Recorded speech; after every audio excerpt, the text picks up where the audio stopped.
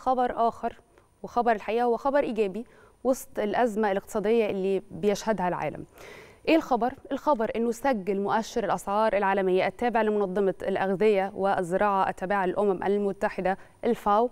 سجل انخفاض في يناير المنصرم بنحو 18% عن أعلى مستوى سجله في مارس الماضي بعد اندلاع الأزمة الروسية الأوكرانية وقالت الفاو أنه انخفاض أسعار الزيوت النباتية ومنتجات الألبان والسكر ساعد على تراجع المؤشر بينما ظلت أسعار الحبوب واللحوم مستقرة إلى حد كبير. خلينا نعرف معنى الكلام ده إيه ومعنى هذا الخبر إيه من دكتور مصطفى بدر الخبير الاقتصادي. مساء الخير على حضرتك يا دكتور مصطفى منورنا في التاسعه مساء الخير يا فندم ازي حضرتك؟ أهلا وسهلا. أهلا بيك. لو تشرح لنا وتشرح للسادة المشاهدين هذا الخبر.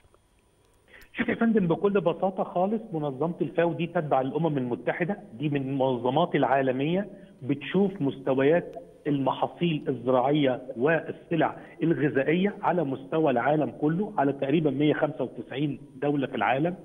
وبتقول في تقريرها عن تقريبا العشر شهور الماضيين اللي هم في يعني لغاية 2022 حددت إن من أعلى مستوى كان الأسعار وصلت لها في السلع الغذائيه انخفضت بمقدار 18% وده من أهم الأمور في الشق الإيجابي القياس العالمي يعني إيه؟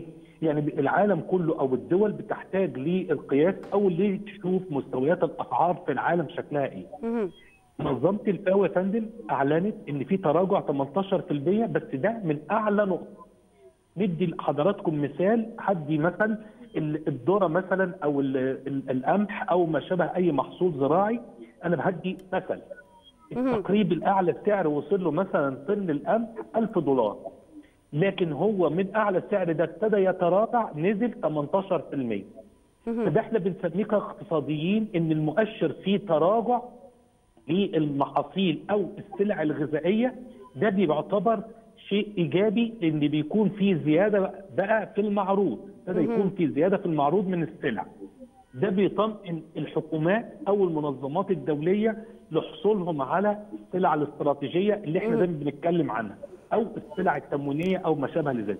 ده الترجمة أو التصور أو التفسير اللي أعلنته منظمة طيب دكتور مصطفى يعني حضرتك قربت لنا المشهد أو قربت لنا الصورة كده بشكل مبسط نقدر كلنا نستوعبه. لكن المواطن دلوقتي اللي يهمه ده هينعكس إزاي على الأسعار بالنسبة لي؟ هتفرق معايا أنا في إيه؟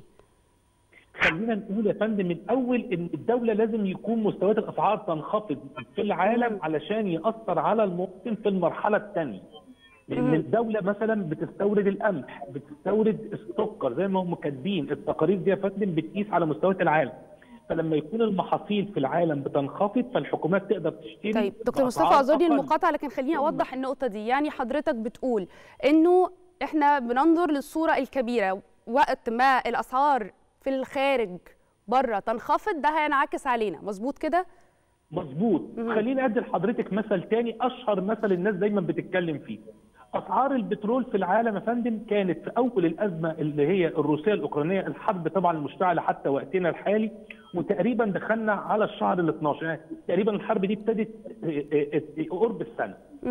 أسعار البترول وصلت ل 140 دولار. ده كان أعلى سعر. ابتدت تنخفض النهارده بنتكلم في 85 دولار. شوفي حضرتك الفرق قد إيه؟ لكن إحنا قدرتنا في الموازنة عندنا مثلا بنتكلم في 70 75 دولار.